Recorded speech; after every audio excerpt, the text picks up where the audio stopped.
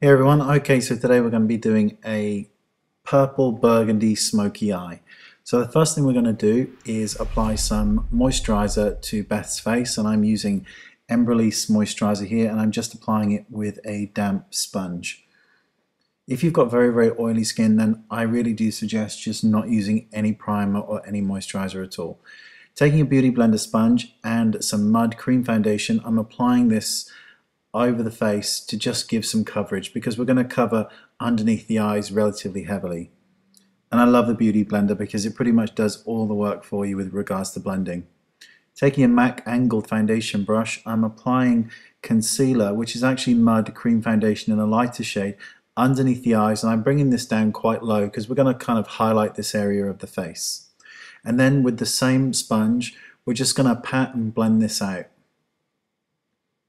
You want to go right the way up to the lash line as well. Taking the Beauty Blender again, I'm now blending that in so that there's no harsh edges as in concealer foundation.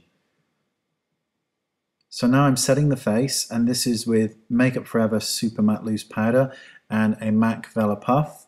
I'm now going to apply excess loose powder underneath the eyes to catch any fallout from any of the eyeshadow that we're going to be doing shortly. I'm now going to fill in the brows ever so slightly. And I'm going to be using MAC Brow for this. And this is in black because Beth has very, very dark eyebrows naturally. So I'm actually just filling them in. They look quite heavy. And then I'm going to run through it with a comb. And it kind of just sort of smooths everything out as you'll see in a second. So just look for any areas that may need thickening or defining such as the tail of the brow and then just run through it with a comb and it will blend that pencil out. And you can see the difference between the kind of two eyebrows. Taking a MAC eyeshadow brush, apply a nice shimmery light colour to the eyelid. Next, with a crease brush, this is by Robert Jones, I'm applying a taupe shade into the crease of the eye right the way in to the bridge of the nose. I'm then going to take a MAC 213 brush, is it 213? 217, silly me, and blend it out. So remember, one one brush applies the color, this brush blends the color. We don't want to kind of blend with the same brush because it gets too muddy.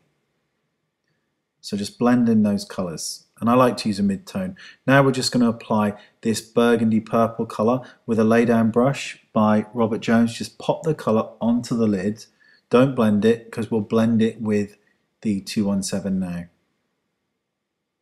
So just blend this in as much as you can. And this just gives, I think this is just a very nice subtle smoky eye.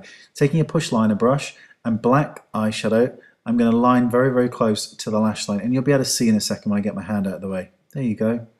And this just really gives that smoky effect from lash as we go up. I'm now going to sweep away that excess powder underneath the eyes and any fallout that may have occurred. This is a Louise Young fan brush, very, very large jumbo version, which is excellent for contouring as well as bronzer. Okay, so I'm just going to go underneath the eye with a little bit of that burgundy colour, just to connect the two up. And I've also lined with a black kohl pencil in the inner rim of the eye. Taking a blush, I'm applying this just on the kind of cheekbone area, just to give a little bit of a glow. This is by Bourjois. I just, see, I'm not asking you to smile, I'm just applying it a little bit high up, taking an angled cheek brush, I'm just going to go underneath the cheekbones ever so slightly and the jawline. And this is by Rae Morris and the bronzer is Makeup Forever. Okay, so you can see that kind of smoke. I'm now going to apply some very, very loose diamond powder into the inner corner of the eye because she's so young and it's just so pretty on this kind of look. I'm just lining the lips ever so slightly with a lip pencil by MAC. And it's really, really you know, I'm not doing much here at all. I'm not trying to etch out a different shape. And then I'm going to apply some MAC lip gloss just to the lip because I don't want any color on this. I just want them to be sparkly and shiny. And this is a Claudia Raz lip brush. Okay, so you'll now be seeing a kind of before and an after coming up really, really shortly. I'm just going to apply some mascara to the eyes, Smoky Lash Mascara, and the wand has been bent. And I'm just going to run this through the lashes. And that will almost complete the look. So I hope you like it and thank you for watching.